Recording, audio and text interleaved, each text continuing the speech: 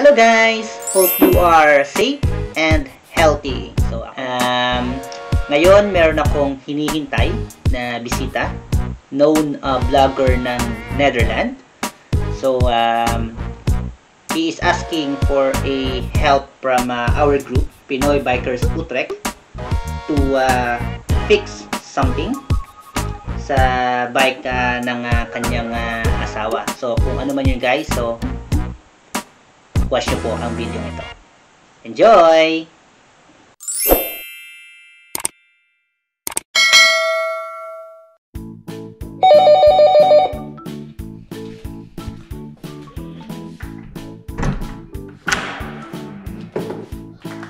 Marvin! Eto na po siya! Ang gulong ng kanyang misis ay nabuta. Tara, pasok pre. Hindi ko alam kung may babalik ko pa eh. Hindi ko kasi yung bike yung So guys, ito yung gulong na ayusin natin. So, yuhu! Eto si Marvin! Marvin! Dapat naman tayo dyan! Shaurara! Hmm. Ayan. Suki na ako, papapulkanize. Lagi nabubutasan. Okay. So guys, silipin natin ha. Tingnan muna natin. Ayun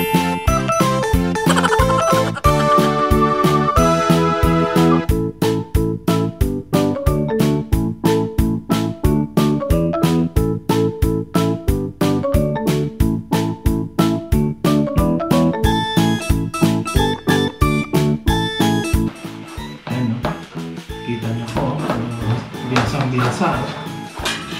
Ayun talaga nagtayo ng bike shop dito. Back shop. Bike shop. Pwede naman tayo ng back shop.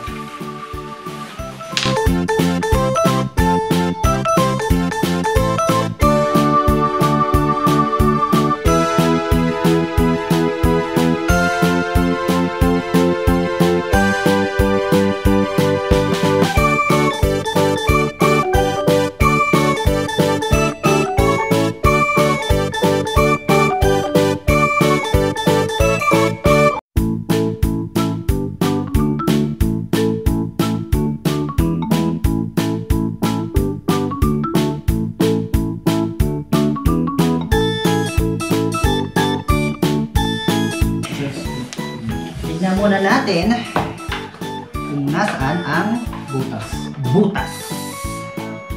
So, para malaman, syempre, kailangan natin bombahan.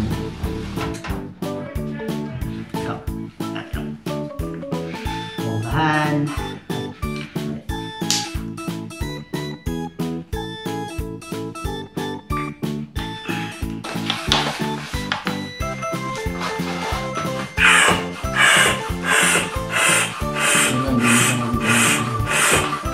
Laki. Laki oh.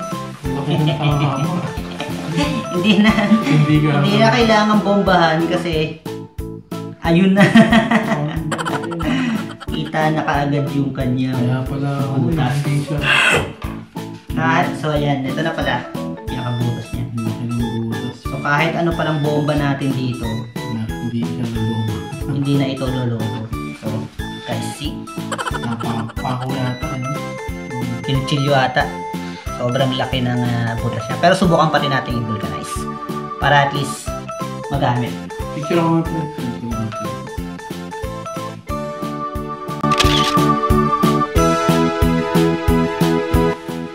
So, guys, bago natin dikitan siya ng pang-vulcanize, so, pakita ko pala muna sa inyo. Ano yung ginagamit namin ng vulcanizing ah, kit. Ito siya. Okay. So, nabibili namin to sa Action ah, na shop dito sa may Netherlands. So, ang laman niya, meron siya nung parang pandikit.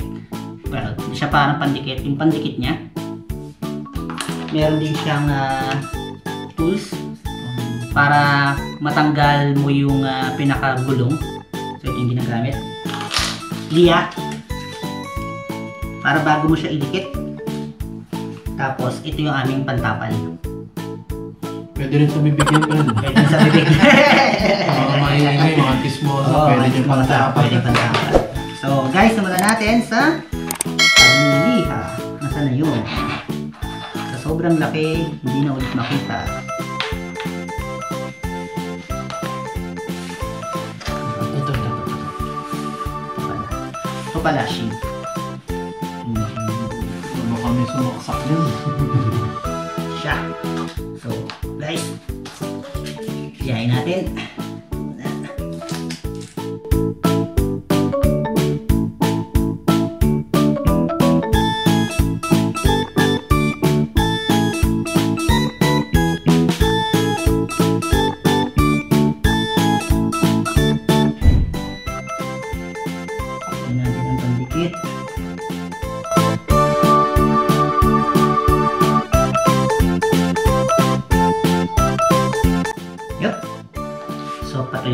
Natin ng mga ilang segundo. Or let's say 1 minute. Saka natuto mag ano ng ko. Yung mga dito. Vulcanize? Dito lang ako sa Pinas talaga.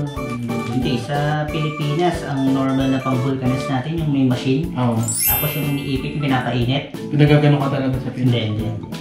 Nag, pag nabubutas yung bike ko, doon ako nagpupunta sa vulcanizing shop sa Pilipinas. Dito kasi pag nagpapagano'n ka, mahal eh. Oo. So dito bibili ka ng kit. Ito. Siguro mga mga 2 to 3 euro lang tong kit na to.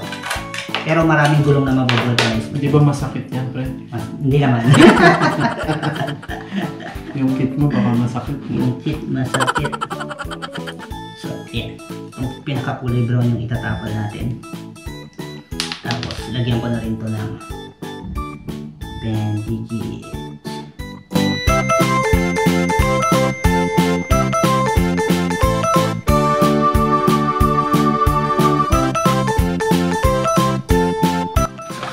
Medyo tuyo na siya. Lalagyan na natin yung pantapal.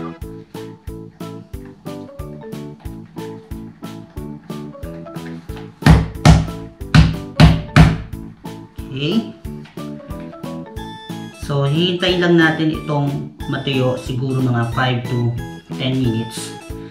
Pero para dumikit siya talaga ng todo, gagawin natin guys is yeah, iipitin natin. So, since meron kami ditong table, iipit natin sa table. Okay. Boom! Nagpaano dyan yung Yan. Huwag niyong kalimutan ang table, ha? Ang ipit. Pinaka-importante to pag magbubulkanize. Wala kang table, bumili ka.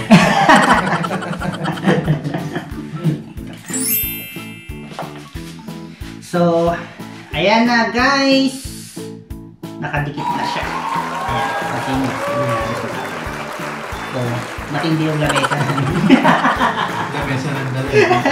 lamesa nagdala dyan. So, next natin, syempre, kailangan natin siyang ibalik.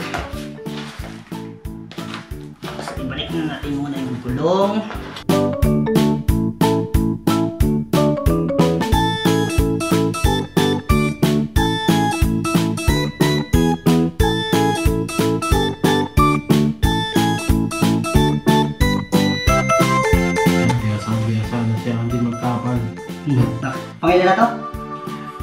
Yung sa bike ko, tatlo yata. Tatlo. Ito, isa. Tatlo. So, isa Ako, din. may- Nakaapat na. Guys, kung yung PBA, kung yung PBA may Abet Kilaban ba yan, yung Tapal King? Dito sa Netherlands. Ito ang Tapal King, si Andy.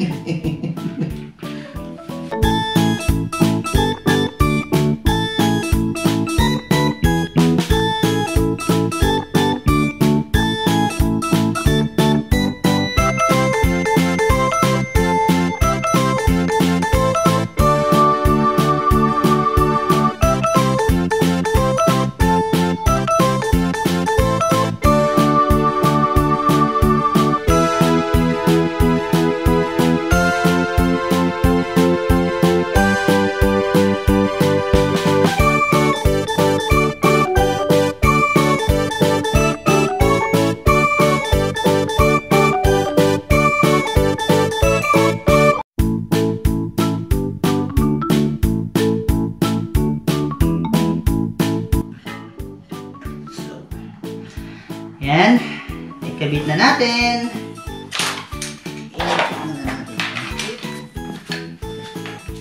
Bomba na, bomba. At ating bombahan.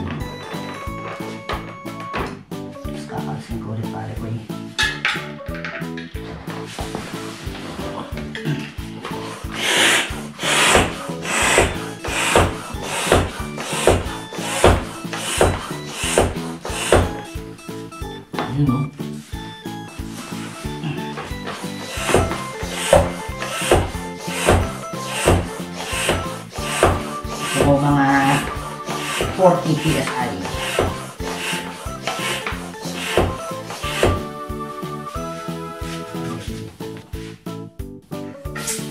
Yan. Ito siya.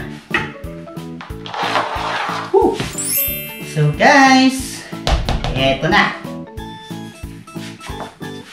Okay na siya. Magagamit na siya ulit ni Princess. Shout out.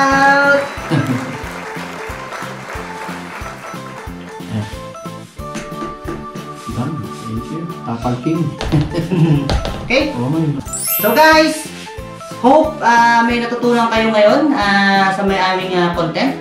So it's a very quick video on how we fix yung flat na, na tire dito sa may Netherlands. So napakabilis lang. Pandikit lang. Tapos na. So, till next video! Bye-bye! Bye. DIY lang.